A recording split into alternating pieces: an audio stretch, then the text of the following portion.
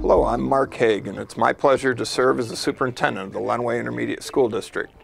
Though there are many things we could highlight as successes not only in 2018, but year in and year out, I will be focusing on a few that were unique for 2018.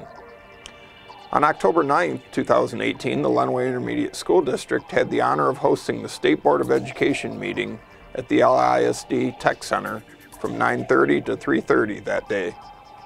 One of the main reasons the State Board of Ed and the Michigan Department of Education wanted to visit Lenawee ISD was to get an update on the MTSS, which is a multi-tier system of support, transformation zone work.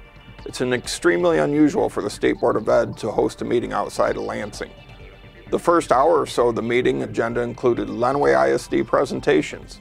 Those presentations included the following.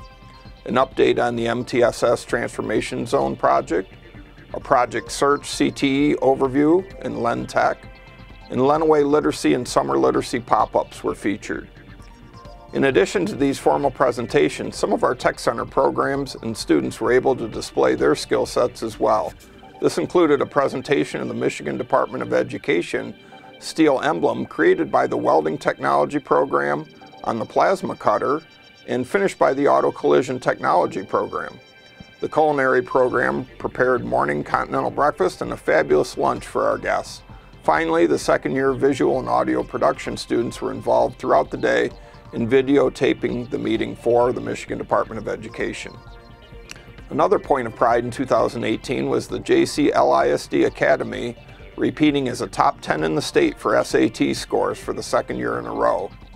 The results released in the fall of 2018 for the May 2017 assessment found that the JC LISD Academy students finished eighth in the state out of over 600 high schools with an average score of 1,210. This program operates as a 4 plus 1 program, which means the intention for students to enter in the ninth grade and work towards an associate degree from the college along with the completion of their high school diploma. In addition to earning the college credits, another huge advantage of this program is this is all done with no expense to the student or the family. I appreciate your time in learning more about our 2018 successes and we look forward to creating new success stories in 2019. If you have any questions about this information or anything regarding the LISD, please feel free to contact me at 517-265-1628 or by email at mark.haag at lisd.us. Thank you.